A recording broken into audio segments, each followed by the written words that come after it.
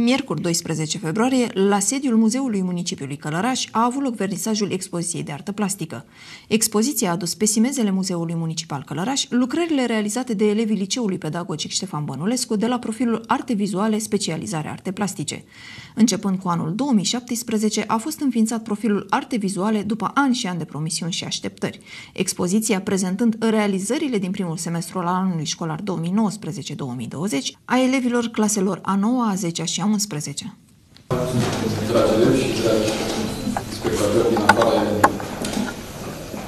elevii știu cu ce se mănâncă această manifestare.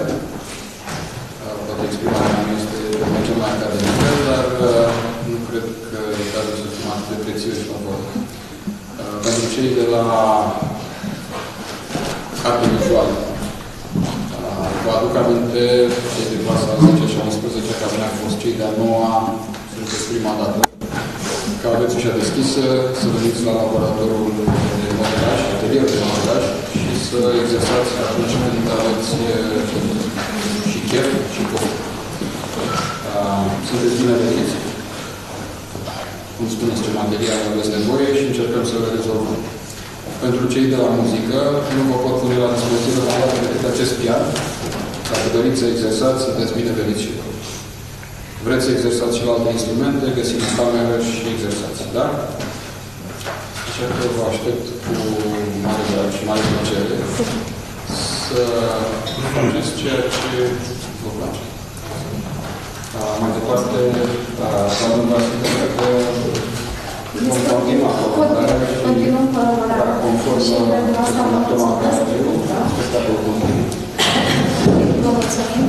Uh, Noi avem un uh, protocol, un parteneriat cu Primăria Municipiului Călăraș, implicit cu Muzeul Municipal Călăraș, pentru a desfășura diferite tipuri de activități cultural-artistice, spirituale, uh, turism, ecologie, protecția mediului. Ca atare, cele care s-au desfășurat de obicei aici, la Muzeul Municipal Călăraș, sunt activitățile legate de arte. Nu avem prea mulți ani de când am înființat aceste clase de arte, deci doar trei ani, și de aceea aici avem copii de la clasa a 9 a 10 și a 11 arte plastice și muzică. Și ceea ce facem noi astăzi aici nu este decât să, să promovăm activitatea voastră școlară. Nimic mai mult. Nu este o expoziție cu pretenții sau uh, un micro-recital uh, oferit de elevii de la muzică cu pretenții. Noi vrem să creștem. Deci acum uh, nu facem decât o activitate de dezvoltare personală și profesională, ca să spun așa. La finalul semestrului 1 s-au adunat o serie de lucrări, fie că sunt lucrări de uh, pictură, fie că sunt lucrări de ceramică, care vor fi expuse aici, în uh, incinta Muzeului Municipal și ca să fie mai antrenantă această activitate, ne-am gândit să invităm și pe colegii de la grupele de muzică. Nu sunt toți astăzi prezenți aici cu uh, o melodie sau cu un instrument. Bine, tot melodie este chiar dacă e cântată la un instrument. Uh, dar uh, încercăm să facem ca lucrurile să fie uh, frumoase și cei de la arte să-i apreciați pe cei de la muzică și cei de la muzică să apreciați activitatea celor de la arte. Și nu în ultimul rând, vreau să mulțumesc doamnei inspector Corina Magiaru, care se ocupă cu activitatea educativă și care, da, de anul acesta de arte și de acum încolo o să fie împreună cu noi o rog să-mi promită treaba aceasta la, fie, la fiecare activitate pe care o desfășurăm.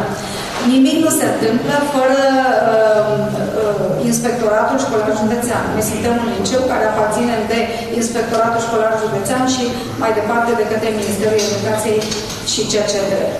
Sigur că de fiecare dată aceste activități le vom desfășura sub egida uh, Inspectoratului Școlar al Județului Călăraș. Mulțumesc!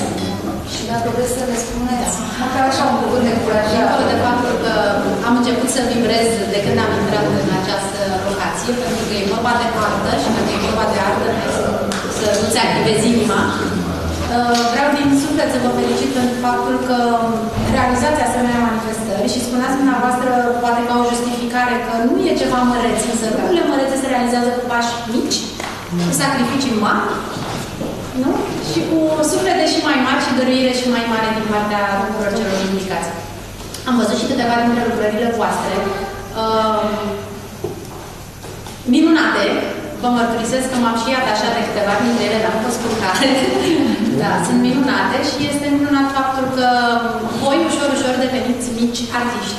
Pentru că asemenea manifestări vin să vă dezvolte, exact cum spunea și doamna director, latura aceea personală, deci e accentuată dezvoltarea personală, sunteți mici, mici artiști, vă promovați activitatea, vă promovați munca, uh, vă vedem și noi cine sunteți și ce frumoși sunteți, cât de frumoși sunteți și vă asigurăm de tot sprijinul nostru. Îmi doresc din inimă să particip la cât mai multe activități alături de voi. Am spus da, imediat ce doamna Amelia mi-a dat uh, mesajul în secunda 2, 3, nu știu, a zis deja da, pentru că știam că am un uh, moment liber, dar nu puteam să nu fiu alături de copii și să mai fiu pentru încă o zi copii. O rog și pe doamna profesoară de muzică să spună ceva, având în vedere că suntem și... Așa cum spunea și colega doamna Amelia, uh, fiecare dintre voi sunteți mici, dar tindeți spre a deveni mari. Și atunci uh, și cei de la muzică și cei de la arte plastice trebuie să conștientizeze uh, nevoia studiului individual. Înțeleg că la arte plastice deja sunt copii care studiază foarte, foarte, foarte individual. Și la muzică au început să fie copii care studiază foarte, foarte mult. Mai avem încă destul de mult de, de uh, lucrat la, la capitolul ăsta. Dar să știți că acele expoziții personale ale celor de la arte plastice vor fi însoțite de recitalurile personale, pentru că la licee de arte este obligatoriu să uh, se susțină recitaluri instrumentale și vocale personale. Deci nicio, niciun vernisaj nu va fi ne, uh, fără muzică. Nu va fi fără muzică. Fiecare vernisaj va avea și însoțitor unul, doi sau chiar trei uh, dintre dumneavoastră cei de la muzică.